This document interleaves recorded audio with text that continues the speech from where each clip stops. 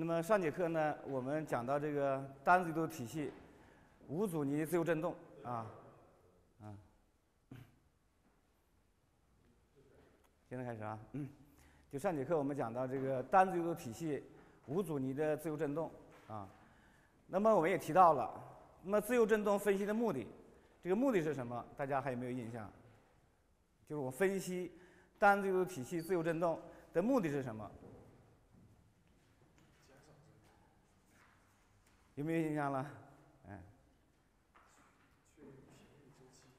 是确定结构的动力特性，要确定结构的动力特性，就是周期和频率。因为这个结构呢，在这个外荷载作用下，它这个反应呢，除了和外荷载有关以外呢，还和这个周期频率有关系。所以，那个单自由体系的这个动力特性、周期频率的计算是非常重要的。那么下面呢，我们就来讲怎么来求单自由度体系的自振频率和自振周期，也就是自振频率和自自振周期的计算方法。我们先把方法说一下。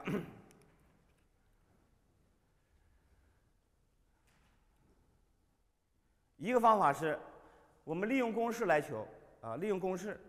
那么在上节课我们已经推出来了，这个频率的平方啊，自振频率的平方。等于呢刚度系数除以质量，啊，可以利用公式来求。如果你知道了质量，知道了刚度系数，那么由此式可以算出来自振频率。那么频率算出来以后呢，就可以得到呢自振周期，啊。另外，由于重力等于质量呢乘重力加速度，G 是重力加速度，就是重力等于质量乘重力加速度。德尔塔 ST 呢是重力作用下引起的位移。重力作用下引起的位移，我们用德尔塔 ST 表示，那么可以写成用柔度系数来表示这个重力引起来的位移，就是重力乘以这个柔度系数。我们把这两个式子带到前面式子里边去，我们也可以得到下面这样一个式子，就是频率的平方等于呢重力加速度除以重力作用下引起来的静位移啊，就是重力作用下引起的位移。这个呢，G 呢是重力加速度，在有些情况下呢，我们用下面这个式子可能会更方便一点啊。那么就是第一个方法，就是利用公式来求。第二方法，我们利用机械能守恒，利用机械能守恒来求。振动刚开始的时候，就 t 等于零这个时刻，那么自由振动呢是由初位移初速度引起来的，是吧？哎，那么有初位移，有初速度。在 t 等于零这个时刻呢，这个体系是有能量的。那么这个能量是这是势能呃动呃动能啊，这个是动能啊，二分之一质量乘上初速度的平方，加上二分之一刚度系数除了乘以初位移的平方，这个呢是势能啊。那么这个是动能，就是 t 等于零这个时刻体系所具有的能量，那么它当然是一个常数啊。就初位移初速度给了，那么它应该是一个常数。在 t 时刻，在 t 时刻，我们用 E 来表示，在 t 时刻体系所具有的能量，机械能，啊，那么呢，这个 y 呢，当然就 t 时刻的速度，y 一点啊，y 的一阶导数是 t 时刻的速度，这个是呢 t 时刻的位移，那么这是动能，这个是势能，啊，那么由于我们是不计阻尼的，啊，这一节我们是说不计阻尼了，不计阻尼呢，也就是没有这个能量的耗散。就是没有呢消耗能量的作用，自由振动也没有动荷载，也就没有能量的输出输入，没有能量的输入，也没有能量的耗散，所以呢，在任何一个时间时刻 t，它的能量呢也是保持不变的，能量保持不变，应该和一开始的能量呢应该是一一致的。我们把上节课求出来的质点的运动规律带进去，得到这动这个。t 时刻的这个体系的这个机械能是这样一个表达式，它也应该是等于常数的，等于常数。那么从这式子可以看出，当 cosine 这项等于一的时候，啊，那么 sin 这项应该是等于零的，是吧？哎，那么 sin 这项如果是一的话呢，cosine 这项应该等于零的，那么它还是常数相加，所以最大的这个动能应该等于最大的势能，啊，最大的动能和最大势能应该相等。那么从这式子可以看出呢，如果它俩要相等，这二分之一 m a 方欧米伽方等于二分之一 k 一乘 a 方，那么也可以得到呢这个式子。那么只不过在有些情况下，我们直接用用这个机能守恒这个概念求频率的时候呢，可能会更容易一点。也就是最大动能啊等于最大势能，最大动能等于最大势能，这是第二种方法。第三种方法，我们利用振动规律来求，啊，利用振动规律。那么振动有什么样的规律性呢？我们来看，这是质点的运动规律，啊，质点的位移随着时间 t 的变化规律。加速度求导数得到加速度，把位移对时间求二阶导数，得到加速度的随时间的变化规律。那么质点上的惯性力。我们用 I 表示，质点上的惯性力在 t 时刻的惯性力，那么应该是质量乘上加速度冠以负号，把加速度带进来，得到惯性力随着时间的变化规律。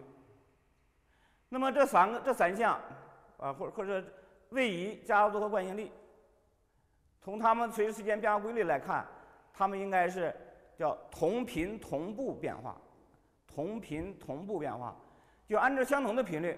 欧米伽，欧米伽，按照相同的频率变化，相位呢也是一样的，在任何一个时刻，相位也是一样的。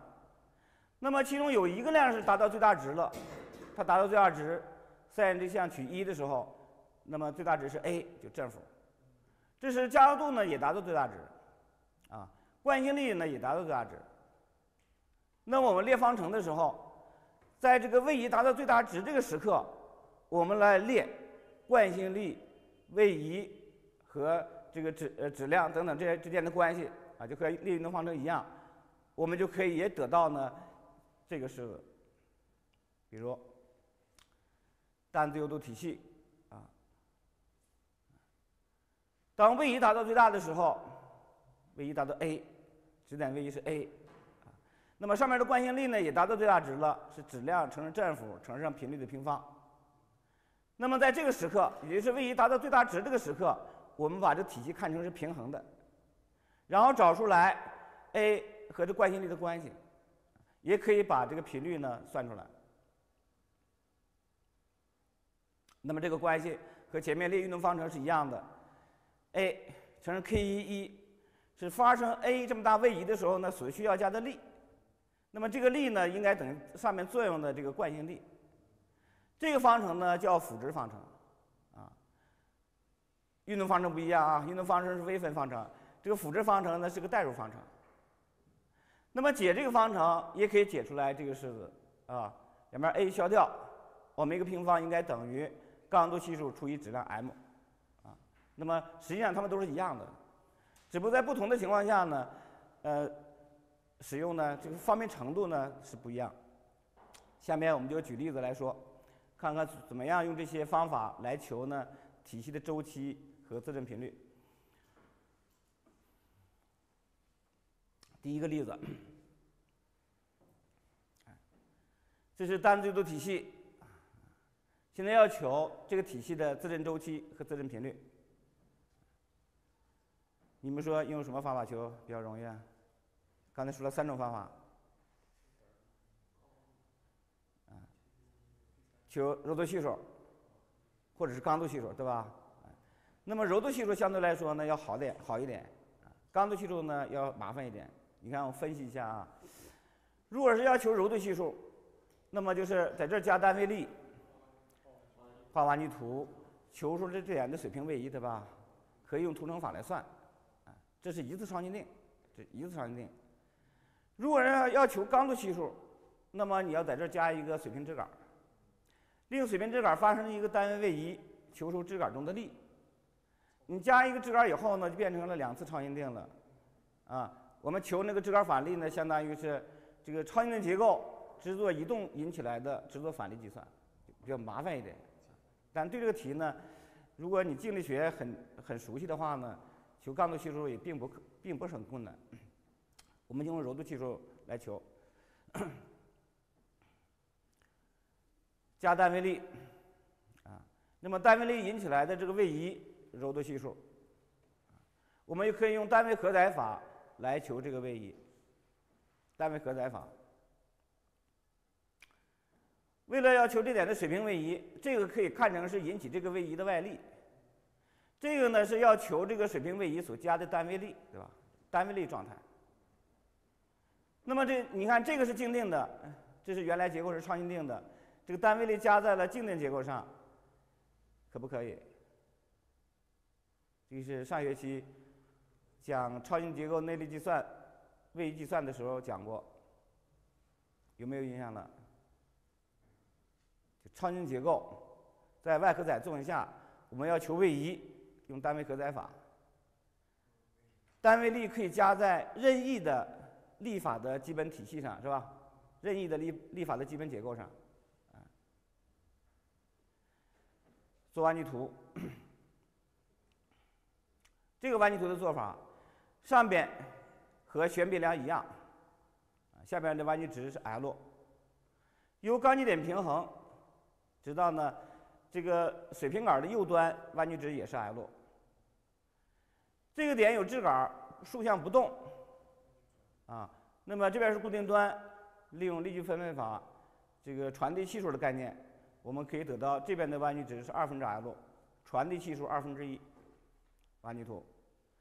那么这个弯曲图自成，是不是就是德尔塔一？啊，那么自成的话呢，稍微麻烦一点。它的弯曲图。上面的做法和它一样。由于这个水平杆里边没有剪力，弯曲图应该是常数。然后它俩图成要比它自己乘自己要简单一点，但是结果是一样的，就是它俩图成，它俩互乘，和这个图形自成得的结果相同。那么我们它俩相乘一下，用图乘法。啊，这个三角形的面积。啊乘上行星所对应的数标，三分之二 L 正的，啊，那么这个图形呢，我们可以做一下图形分解，分解成上面一个三角形，这个直边直角边的长度是 L，和下面一个三角形直角边长度是二分之 L，是吧？这两个图形分别和它图成，上面的图层和它图层结果为正，下边的图形和它图层结果为负，一共是三项，得的结果。十二分之七啊，十二分之七 E_I 分之 L 三次方啊，这是柔度系数。有了柔度系数了，直接带公式，代入频率的计算公式，频率就算出来了。那么有了频率了，再求自振周期，自振周期二派除以自振频率，这是自振周期。这是自振频率，就都算都算出来了。从这个例子可以看出呢，利用公式来求，关键是如何来求柔度系数和刚度系数。刚度系数和柔度系数的求解是结构静力学的问题，对吧？动力学的概念并 并不是很难啊，就是这个静力学的这个刚度系数、柔度系数来求解呢，有的时候呢还是比较麻烦的。第二个例子，两个支点，几个自由度？一个自由度啊，不计轴向变形。这两个支点竖向是不能运动的，这两点的水平运动是一样的，对吧？用刚度法还是柔度法来求？呃，来来求？哎，就刚度系数还是柔度系数？这是一个静电结构，对吧？静电结构的话呢，弯曲图是很容易做的，所以我们求柔度系数加单位力，做出弯曲图，啊，做出它的弯曲图，然后弯曲图自成，得到柔度系数三分之二 E_I 分之 L 三次方，柔度系数有了，下面带公式，公式应该是分母上是是柔度系数。还乘一个质量，质量应该取 m 还是二分之 m，还是 m 加二分之 m？应该是加在一起的啊，这两个质量加在一起是二分之三 m。加进去，啊，把质量带进去，柔的系数带进去，求出自振频率、周期。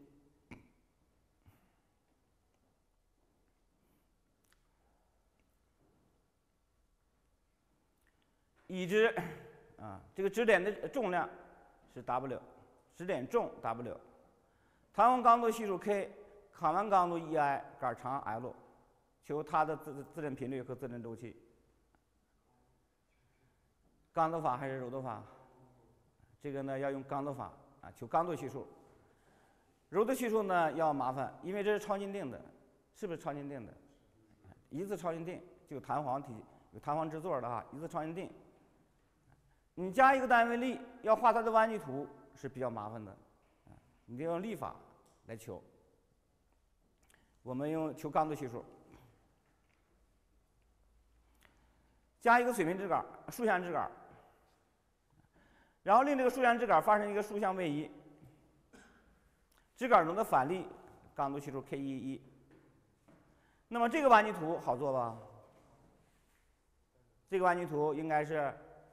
一端固定，一端角支，角支端发生单位线位移，由行常数可以画出这个杆儿的弯矩图。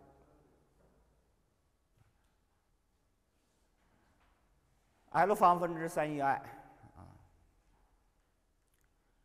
为了求 K 一一，我们取隔离体，把端部这点拿出来作为隔离体。弹簧被拉拉长一个单位，就弹簧中的力应该是 K。那么根据弯矩图，我们可以知道这个杆端的剪力是这个弯矩图这个斜线的斜率啊，L 方分之三 EI 除以 L L 三次方分之三 EI 剪力，这剪力是负的。由这个节点的平衡，可以算出来 K 一一应该是 K 加上。L 三次方分之这个三 EI 啊，刚度系数就求出来了。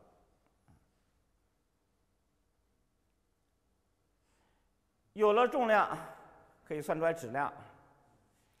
重量除以重力加速度，质量。有了刚度系数，有了质量，那么自振频率呢？用公式就可以求出来。这刚度系数。质量，刚度系系数除以质量，然后再开方，得到自振频率。那么周期我没有写，周期当然就等于这个二派除以欧米伽。前面我们刚才是用的公式来算的啊，下面我们换一个题，就是不用公式，用另外两种方法怎么算？杆儿是无重钢杆儿，杆儿没有重量，刚性的，上边有三个支点，几个自由度，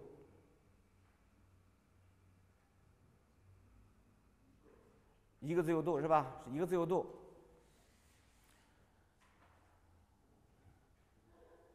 我们可以用这个，嗯，一个自由度是吧？啊。我们当然可以选这个杆的转角，确定这三个支点的位置哈，选这个转角这个参数。当然可以选某一个支点的竖向位移的参数都可以，独立参数是有一个。我们用能量守恒，这个用刚度用刚度系数和柔度系数也可以啊。我们先用能量守恒算出来，我们再用这个刚度法和求刚度系数、柔度系数的方法，利用公式来求一遍。在 t 时刻，啊，那么转角是 phi t，杆儿的转角 phi t 在 t 时刻。那我们去求出来呢，这个体系呢，这个最大的动能和最大的势能。当转角最大的时候，弹簧被拉长也是最大的，那么也势能就最大。只有弹簧里边有势能，钢芯杆里边没有变形。没有势能，没有变形能，只有这个弹簧里边有势能。下面我们写出来势能和动能的表达式。先看动能，这个支点的最大动能，最大动能应该是二分之一 m 乘上欧米伽平方乘上振幅，这是最大的动能啊。这个表达式在上一页已经写出来了啊，我们在这里边再写一下，动动能应该是二分之一速度速度的平方乘上质量，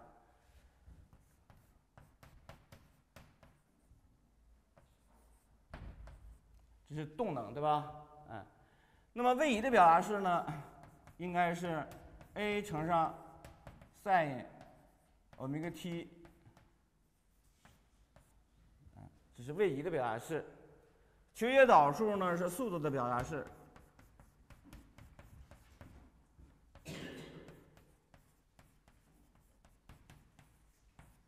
这是速度，啊，那么带进去以后，这个最大的动能应该是表达式二分之一乘上质量乘这个最大速度的平方是吧？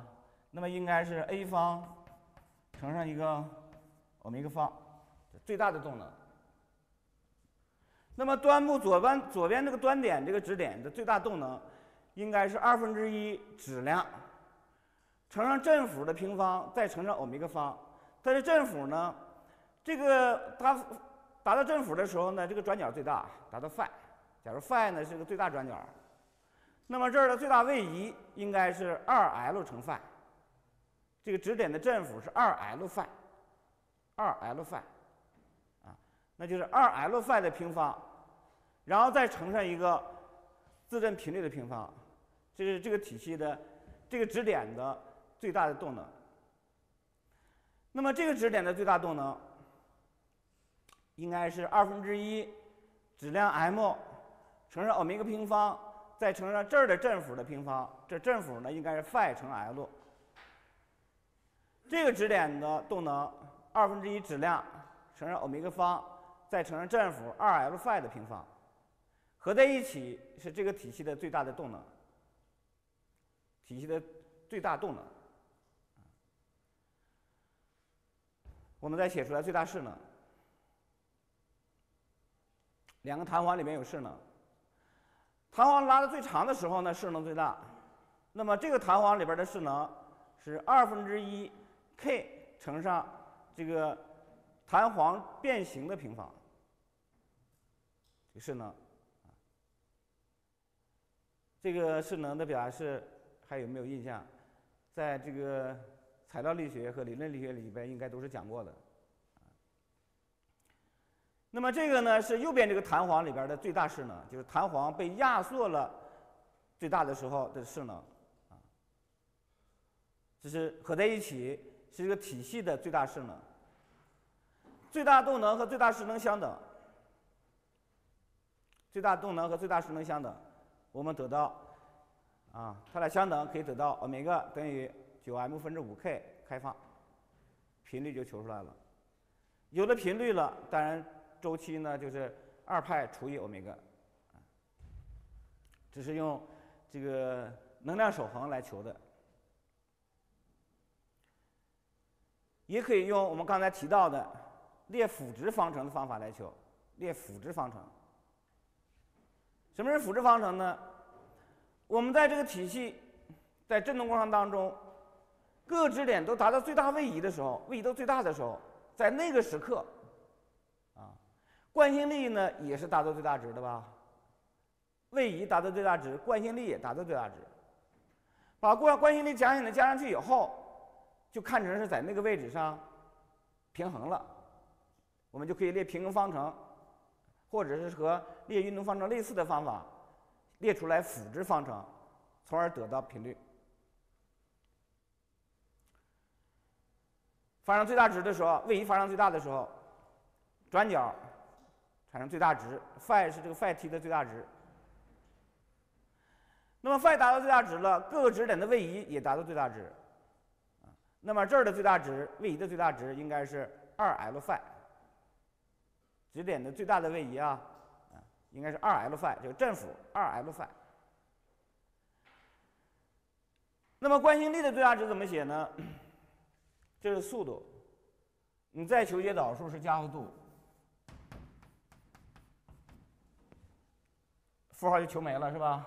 应该是 a 乘上一个欧米伽方乘上 sin 欧米伽 t，这是加速度，呃，加速度的最大值哈，呃，加速度的啊，这不是呃这个，啊，这是加速度，还有没有？这个求解导数，欧米伽常数，cos 求导数是 sin。负 sin，负 sin 跟这个负号消掉了，然后里边还出来一个欧米伽，对吧？a 欧米伽方 sin，有问题吗？哪个？哪个？啊，这块没有符号，啊，这块没有符号，那么这块就应该有符号了，是吧？这块应该有个符号，然后惯性力呢？负的质量乘加速度。带进去以后，负号负号消掉了，应该是质量 m a 欧米伽方 sin 欧米伽 t 加 phi，是惯性力随着时间的变化规律。那么位移达到最大值的时候，sin 取一，那么这个也是一，所以最大值就是质量乘上振幅乘上频率的平方，啊，是惯性力的最大值。我们把惯性力最大值加上去，这个支点，它的质量是 m，乘上一个欧米伽平方，乘上这儿的振幅的振幅，这个 m a 有个振幅 a，a 呢应该是二 l phi，二 l phi 是这块的振幅，乘以欧米伽方再乘以质量是惯性力的最大值位移达到最大了，在这个位置。惯性力也也最大，那么这个支点呢也同样的位移达到最大值是 l phi，惯性力达到最大值是 l phi 乘上质量乘上频率平方，这个是这个支点的惯性力的最大值。当 v 一达到最大值的时候呢，这个弹簧被拉长了 l phi，所以弹簧里边有力是 k l fi 啊。k 乘上 l phi，l phi 是弹簧弹簧的伸长量。那么这个弹簧被压缩了二 l phi，所以弹簧中的力呢应该是 k 乘上二 l phi，平衡了，加了惯性力，这是平衡的，我们就可以列平衡方程了，列平衡方程。那么这个制作处呢也有反例，还有数项反例，为了使得这个数项反例在方程中不出现。我们把 A 点做矩心，列一个力矩方程。把 A 点做矩心，列力矩方程。这个力乘上力臂 2L，减掉这个力乘上力臂 L，加上这个力乘上力臂 L，加上这个力乘上力臂 2L，减掉这个力乘上力臂 2L 等于零。这个就是辅值方程。辅值方程啊，都是最大值之间的关系。惯性力的最大值位移的最大值，整理一下，整理一下。那么有解这个式子，可以把欧米伽方解出来，phi 和 phi 消掉，l 方消掉，和前面的是一样的，频率就求出来了。这是列辅值方程来求。那么如果我们用前面说的公式来求的话，应该怎么求呢？大家回想一下，我们列方程那个地方，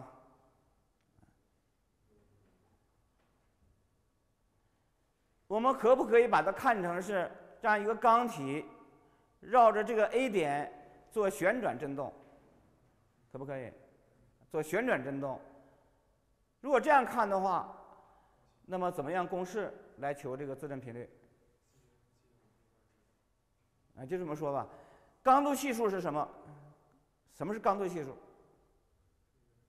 怎么求刚度系数？你说啊？加一个什么，让这感觉发生单位转角，求出来这个所需要加的那个力矩啊，加那个求那个力偶啊，发生单位转角，把那个力偶算出来就是刚度系数。那么公式中的那个质量对应哪一项呢？就是三 m 吗？嗯，应该是绕着 A 点的转动惯量啊，转动惯量。有没有求一下？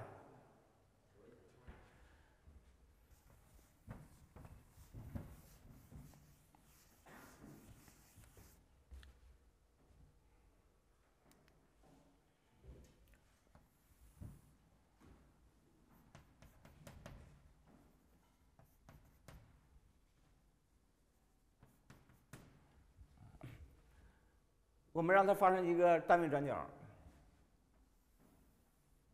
这个转角是一，它凭空不能发生啊，你得加上力偶才能转动，加一个单位，加一个力力偶，k 一，加一个力偶 k 一，使它发生单位转角。那么 k 一呢，就是刚度系数，我们求这个刚度系数。那么这个转角是一，那么这个弹簧呢就被拉长了。一乘上 l 对吧？所以这里边有力，应该是一乘 l 呃一乘 l 应该 l 乘 k，l 乘 k 弹簧中的力。这个呢被压缩了，因为这个长度是二 l 是吧？所以压缩了二 l，所以这个地方应该向上的有一个力二 l 乘 k。然后对点取距，我们可以算出来这个 k 一啊，k 一应该等于 l k。乘上力臂 L 是 L 方 K，加上这个二 LK 乘以力臂二 L 是四 L 方 K，这是刚度系数，然后再求一下这个转动惯量。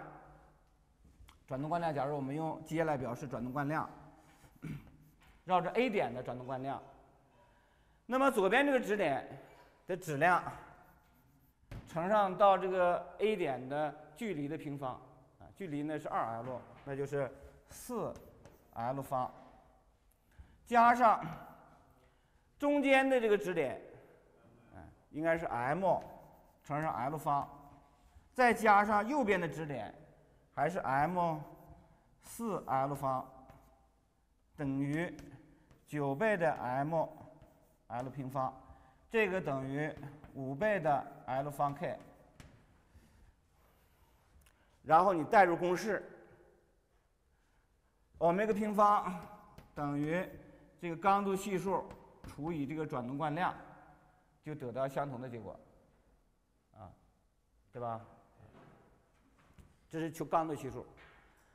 那么如果要求柔度系数呢？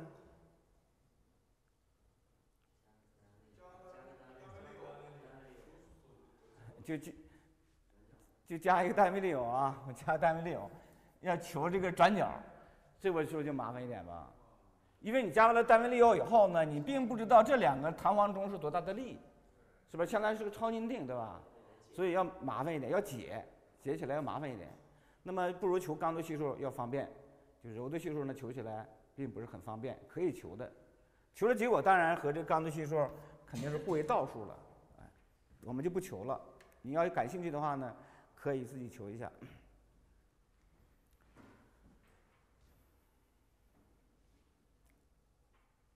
下面我们举一些例子，呃，就做一些练习啊。下面我们做一些练习，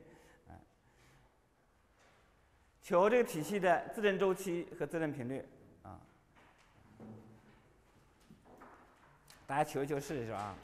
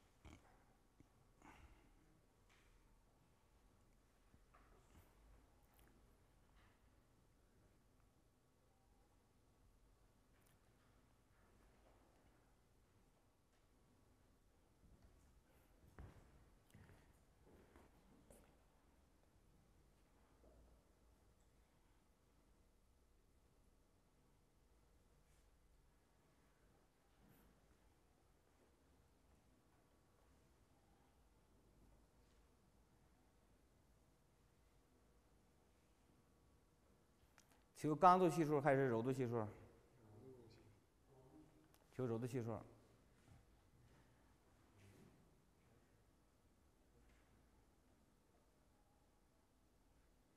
求柔度系数的话呢，你就要求出来单位力作用下引起来的弯曲图，是吧？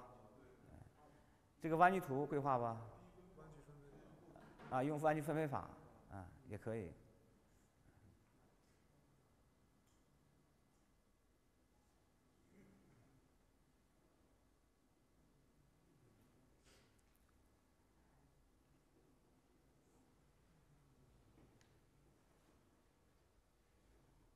那个好像不对，那下边那俩杆弯曲图不。对。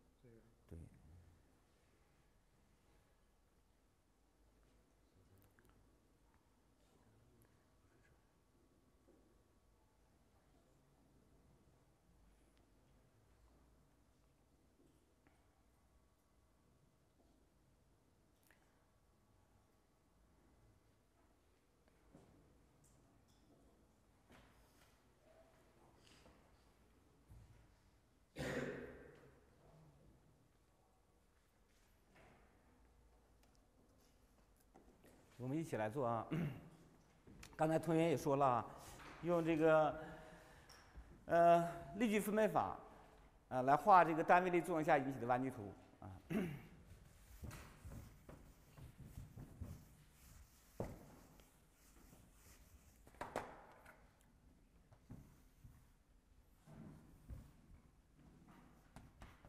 这是一个超硬定结构。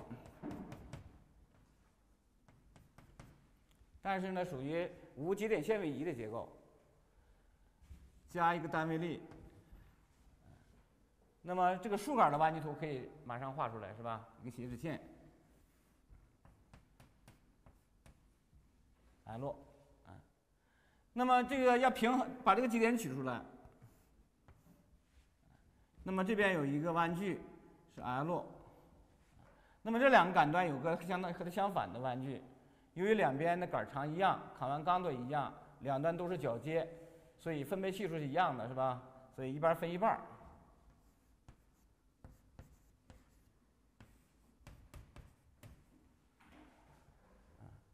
那么就可以画出来竖杆呃这个水平杆的弯曲图。这边是二分之 L，这边也是二分之 L，这是单位力作用下引起的弯曲图。然后这个弯曲图自成就可以了，是吧？自成三项，啊，就三项。当然，你也可以呢，就是去掉一个杆儿，就是你再去再画一个弯曲图，比较麻烦了啊。你再画一个弯曲图，把这个杆儿去掉，再画一个静电结构的弯曲图，也是这个单位力啊。然后图层得的结果是一样的。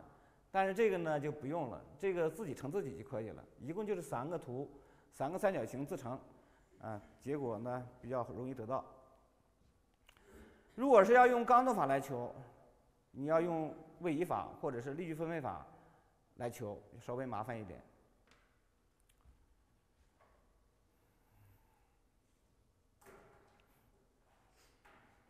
求这个体系的自振周期和自振频率。刚才这个结果我就不给了吧，是吧？因为你这个弯曲图有了自成，是吧？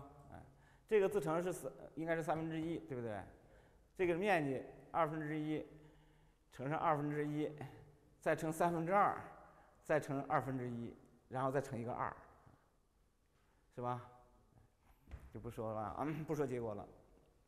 这个刚度法，刚度法，嗯，加一个水平链杆用柔度法也行的，这个用柔度法也可以。你加单位力，加个单位力，那么这两个柱子的刚度相同。这个单位力作用下，这两个竖竖杆的弯曲图能不能画出来？也照样能画出来，是吧？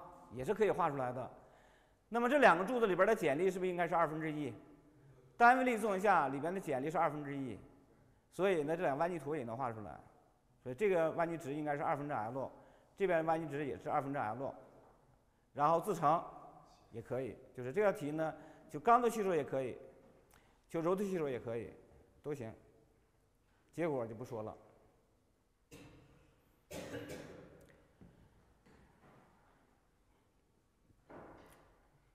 这个题，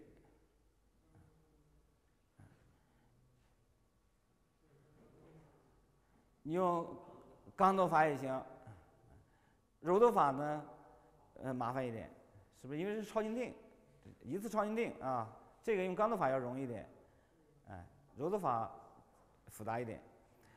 那么或者是列辅质方程，或者是列这个用能量守恒啊，机械机械能守恒来求，大家可以求一求试一试。